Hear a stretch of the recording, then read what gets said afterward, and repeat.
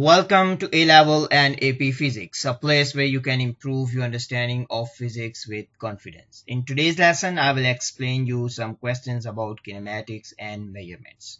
All of these questions are from Cambridge AS Physics past papers. This video will help you to improve your conceptual understanding of kinematics and measurements.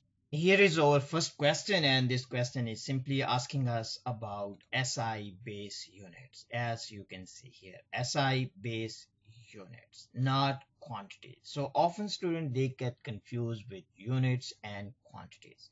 So actually there are seven SI base units and seven SI quantities as you can see here uh, in this column, we have SI quantities. As you can see, the length is a quantity, its unit is meter. We have mass is a quantity, its unit is kilogram, time, seconds, temperature, Kelvin, electric current, amps, luminous intensity, candela, amount of substance, mole. So these are seven SI base units and seven SI quantities so we need to be quite clear with this one. If we are clear about these seven SI base units and quantities then this question is very simple to answer. So we need simply need to find out SI base units the pair of SI base unit.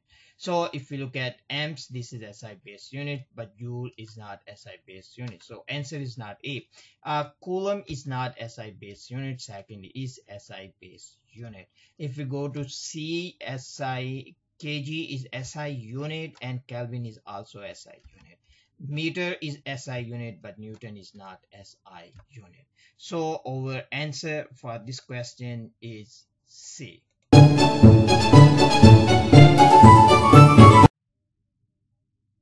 For this question, we simply need to understand what exactly is one micrometer and what exactly is one gigameter. So first of all, let me explain to you what is one micrometer. So this is one micrometer. One micrometer simply tells us that it is equal to 10 to the power of minus 6 meters and 1 gigameters is simply equal to 10 to 9 meters. Now if we have this understanding if we remember what is micrometer what is gigameter then simply we can answer. So as 1 micrometer we simply understand 1 micrometer and this is divided by 1 gigameter. So 1 micrometer is simply equal to 10 to minus 6 meters and 1 gigameter is simply equal to 10 to 9 meters. So if we just simplify this one our answer will be 10 to minus 15 meters. So our final answer is D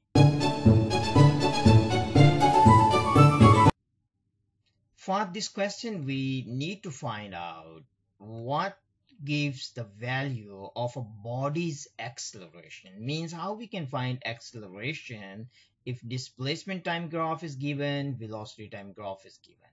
So as you can see in all these options we have velocity time graph and displacement time graph. So we need to understand how we can find acceleration of a body if graph is given to us simply if a graph is given to us. So first of all let's try to understand what is acceleration. So acceleration simply is equal to delta v over delta t or we can also say that this is equal to rate of change of velocity uh, rate of change of velocity as this is the rate of change of velocity we can also say that uh, we can find acceleration from the gradient of vt graph. Means from the gradient of velocity time graph we can find acceleration.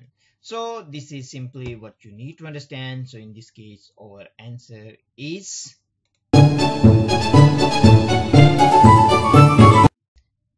First of all, let's try to understand what is given to us. For this question, it is given to us a stone is dropped from the top of a tower of height 40 meters.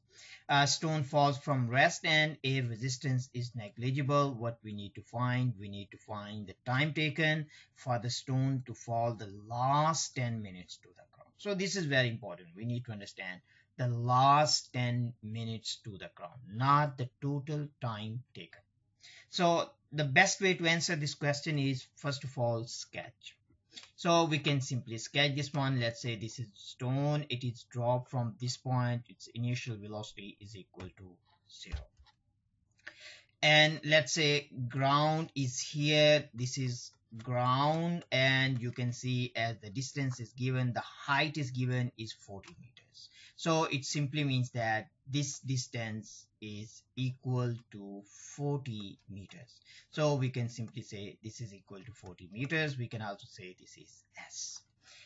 Now at this point it is also given to us that 10 meters. Let's say this distance is S1 and this one is equal to 10 meters. If this is 10 meters, then we can also find out S2. So the S2 in this case will be equal to 30 meters, means 40 minus 10. So how we can answer this question? So this question can be answered in many ways we can use different approaches but I will explain you one the simplest one the simple one.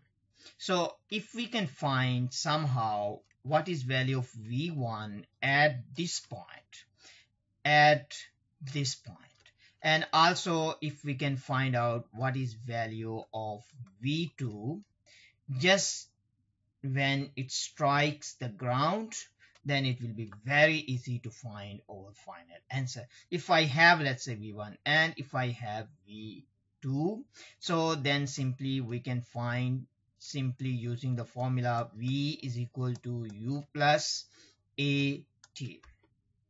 And so in this case, uh, V will be equal to V2 and U will be equal to V1 and then is A and T. So T we will find very easily so the t will be equal to v2 minus v1 over a. So we will find. So for a is given as it is in free fall. So this is in free fall because a resistance is negligible. So we can say in free fall. So it means that g is equal to a and that is equal to 9.8 1 meters per second per second. Uh, so we can also write down the unit here, meters per second per second. Now, how we can find V1 first of all? So first of all, just look at S2 now. At this point, velocity is given, U is equal to 0, S is given. So we can find V1. So I can write down here for S2, uh, we can say for S2 as S2 is equal to 30 meters. So we can find out value of V1. So simply we can find out that 2as is equal to v square minus u square. So we need to find v square. So v square in this case is equal to v1. So if we just simplify this one, we will get that is equal to 2as, the root of this one that is 2as and if we solve this in this case s is equal to s2 and our answer will be 24.3 meters per second. Uh, 24.3 meters per second. So this is value of v1 now the second thing we also need to do is uh, we need to find out v2 so we will say for S. For S is equal to 40 meters, we will repeat the same steps. So if we repeat the same step means 2AS is equal to V square minus U square. So in this case, we can find out value of V2 that will be equal to 2AS. We just need to take the square root of this one that will be equal to 28.0 so that will be equal to 28.0 meters per second. Now, as you can see here, we have value of V1, we have value of V2. So we can simply use this formula. So we just need to use this formula and we can find out value of. So it means time is simply is equal to V2 minus V1 divided by A. So the V2 is equal to 28 and the V1 is equal to 24.3 meters per second and G a is equal to g that is equal to 9.81 and if we just solve this our final answer will be 0.38 seconds. It means this is the time taken for the stone to fall the last 10 meters to the ground. So our answer is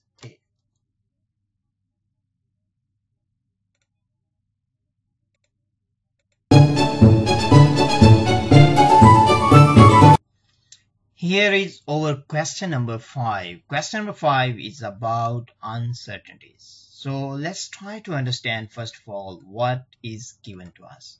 For this question, it is given to us that resistance is equal to potential difference divided by current. And the absolute uncertainty of potential difference is given and also the absolute uncertainty for current is also given. So absolute uncertainty for potential difference is 0.05 volts and for current is 0.01 amps. Now the question is that how we can find out the percentage uncertainty in the value of R means in the value of resistance. So for this one, the main concept what we need to understand is that when quantities are multiplied or quantities are divided, we need to add the percentage uncertainties. So this is the main concept as you can see here. So when quantities are multiplied our quantities are divided we need to add the percentage uncertainties. So as you can see here absolute uncertainties are given means the delta v is given here. And absolute uncertainty here delta i is given. Now how we can calculate the percentage uncertainty in resistance? So this is quite straightforward concept if you remember from our class. So delta r over r is equal to delta v over v uh, plus delta i over i. So as we need to calculate the percentage uncertainty so we have to multiply by 100 so we need to calculate the percentage uncertainty. It simply means that we have to multiply this by 100 so as you can see the delta v is given that is 0 0.05 uh, divided by 1.00 uh, plus we have delta i by i that is 0 0.01 divided by 0 0.50 uh, we have to multiply this by 100 because we need to calculate percentage uncertainty. So if we solve this one, our final answer will be 7.0%. I mean, this is the percentage uncertainty in R. Percentage uncertainty in R is equal to 7.0%. So this is how we can answer. So the main idea is that we need to understand when quantities are multiplied or divided, the percentage uncertainties are added. So our final answer is C.